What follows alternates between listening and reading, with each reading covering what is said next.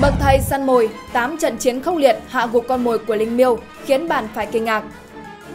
Vũ trụ TV, giải trí không giới hạn. Loài linh miêu là loài thú bí ẩn, sống khép kín và quyến rũ. Đây là một trong những động vật ăn thịt đẹp và thú vị nhất từ họ Friday. Rất khó tìm được một chú linh miêu vào ban ngày, vì lúc này nó đang nghỉ ngơi ở nơi trú ẩn, dành sức cho cuộc săn đêm. Với đôi chân dài và khỏe, bàn chân có mong vuốt thu vào được, cộng với sở trường nhảy xa, leo trèo kinh điển. Thật không ngoa khi nói rằng linh miêu có thể hạ gục bất cứ kẻ ngông cuồng nào chỉ trong vài tích tắc. Linh miêu và rắn có tổng cộng 3 loại linh miêu trên thế giới, đó là linh miêu Bắc Mỹ, được tìm thấy ở Canada và Alaska, linh miêu Á Âu, được tìm thấy ở Tây Ban Nha và Bồ Đào Nha, linh miêu châu Á có mặt ở Trung Á và Thổ Nhĩ Kỳ. Linh miêu thường có xu hướng sinh sống và săn mồi ở vùng đồng cỏ hoặc trong các khu rừng nhiều bụi rậm. Con mồi ưa thích của chúng là các loài động vật có thân hình nhỏ bé, chim hoặc cá. Cũng giống như hổ thì linh miêu thường đi săn mồi một mình. Hầu như suốt cuộc đời, linh miêu dành thời gian để đi săn và nghỉ ngơi. Ở trong đoạn clip dưới đây thì chúng ta sẽ được chiêm ngưỡng sự khôn khéo của linh miêu Bắc Mỹ, linh miêu đuôi cọc khi mà đi săn một con rắn đuôi chuông cực độc. Mở đầu clip thì chúng ta có thể thấy con linh miêu Bắc Mỹ đang dảo bước đi ngang qua ống kính máy quay thì bỗng nhiên um, nó phát hiện ra một con rắn đuôi chuông đang trốn trong bụi rậm gần đó. Đây là loài rắn sinh sống chủ yếu ở châu Mỹ. Tổng cộng trên thế giới hiện nay thì có tất cả là 32 loài, với số lượng phân loài từ 65 cho đến 70. Rắn đuôi chuông thì cũng là loài săn mồi khét tiếng, nhờ sở hữu chất độc nằm trong top 10 loài rắn độc nhất trên thế giới. Ừ. Giới thiệu xong rồi thì bây giờ sẽ đi vào chi tiết là như thế này. Sau khi mà phát hiện được nơi cư trú của con rắn thì Linh Miêu liên tục sử dụng đôi bàn chân của mình để mà khều khều khều con rắn ra ngoài. Với cái bản tính hung dữ, đương nhiên, rắn đuôi chuông không thể nào chấp nhận được việc bị các loài động vật khác khiêu khích. Nó liền vươn người ra ngoài và tìm cách tấn công ngược trở lại kẻ xúc phạm. Tuy nhiên, với việc sở hữu sải chân dài và linh hoạt thì những đòn tấn công của con rắn độc hoàn toàn không thể nào mà chạm được vào linh miêu. Sau một hồi răng co thì linh miêu tóm được đầu con rắn, rồi sau đó dùng hàm răng sắc nhọn của mình ngoạm chặt vào đó.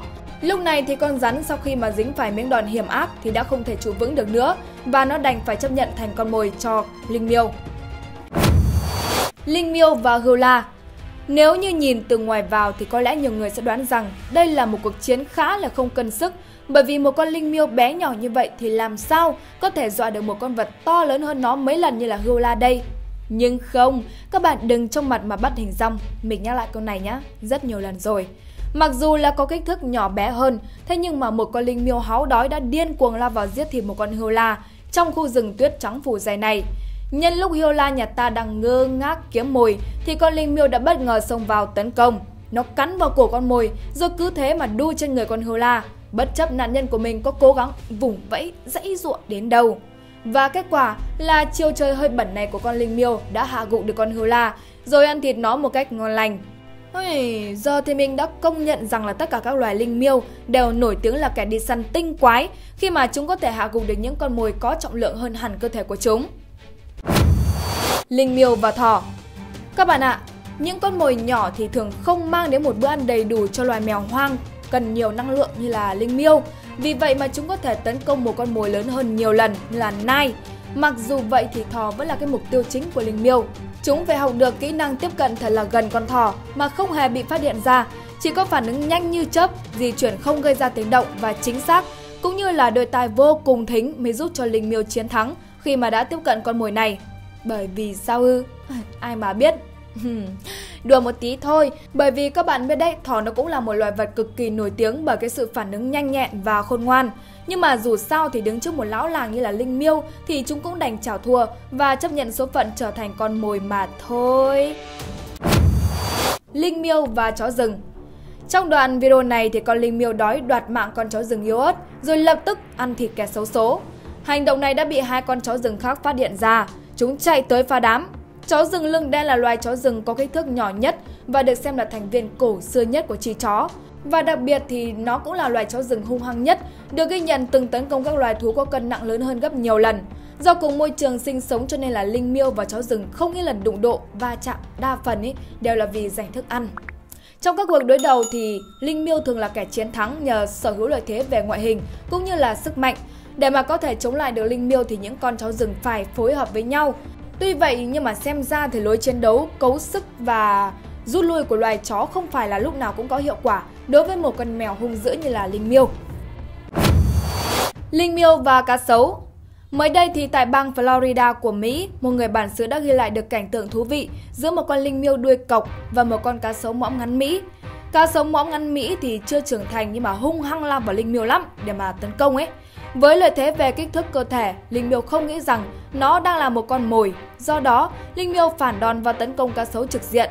Con cá sấu thì cũng không dễ dàng bị ức hiếp như thế, mang trong mình dòng máu của một loài động vật săn mồi bậc cao lại còn đứng đầu chuỗi thức ăn. Mặc dù là trong tình thế phải chiến đấu với kẻ địch to lớn hơn, nhưng mà con cá sấu con thì vẫn ngoan cường chống trả và không hề bị lép vế. Tuy nhiên, tiếc, với cái kinh nghiệm đi săn lâu năm cộng với đôi chân dài và khỏe thì con linh miêu cuối cùng cũng đã khuất phục được con cá sấu. Nó ngầm chiến lợi phẩm trong miệng và hớt ha hớt hải để đi tìm nơi hoang vắng để mà tận hưởng thành quả của mình. Linh miêu và cáo một con cáo đang lang thang tìm kiếm thức ăn, xung quanh mặt đất chỉ còn là một màu trắng toát của tuyết. Nhưng mà, nó đã đánh hơi thấy được những con chuột nhỏ đang ẩn nấp dưới tuyết trắng bằng chiếc mũi cực kỳ là thính của mình. Tuy nhiên thì chính nó cũng đã lại lọt vào mắt xanh của một kẻ săn mồi khác, đó chính là linh miêu Canada. Trong nền tuyết trắng xóa thì con cáo khó lòng có thể tìm được nơi ẩn trú trước kẻ đi săn cực kỳ nguy hiểm này. Linh miêu đã dựa vào mùi của con cáo để lại trên tuyết và đuổi theo con cáo. Một màn rượt đuổi vô cùng là kịch tính diễn ra ngay sau đó. Cuối cùng thì con cáo đã may mắn trốn thoát được khi mà chui tọt vào một cái hàng nhỏ và Linh Miêu thì không thể nào mà chui lọt được. Có lẽ đây là một trong những lần hiếm hoi Linh Miêu để con mồi của mình chạy tuột khỏi tầm tay như vậy. Linh Miêu và mòng biển Đàn mong biển đang ghé xuống để mà uống chút nước, để mà giải khát giữa mùa hè nóng nực mà không hề hay biết là kẻ thù đang ẩn nấp ở lùm cây, để mà quan sát và đã lên kế hoạch cho một cuộc săn mồi hoàn hảo. Chỉ một chút sơ sẩy thôi, một chút thôi, Linh Miêu đã chấp lấy thời cơ, lao ra thật nhanh trước sự ngỡ ngàng, ngơ ngác và ngã ngửa của chim mòng biển. Ở vào thế bị động thì dù có đôi cánh là lợi, thế nhưng mà chúng cũng không thể nào nhanh bằng cái đôi chân phi nước đại của Linh Miêu được. Cái kết thì đấy, quá là rõ ràng rồi. Linh Miêu đã có cho mình một bữa ăn mà không tốn quá nhiều công sức. Linh Miêu và gà Tây Phát hiện ra một đàn gà Tây hoang dã đang lang thang kiếm ăn, Linh Miêu ngay lập tức hạ thấp độ cao cơ thể bằng cách áp sát xuống mặt đất.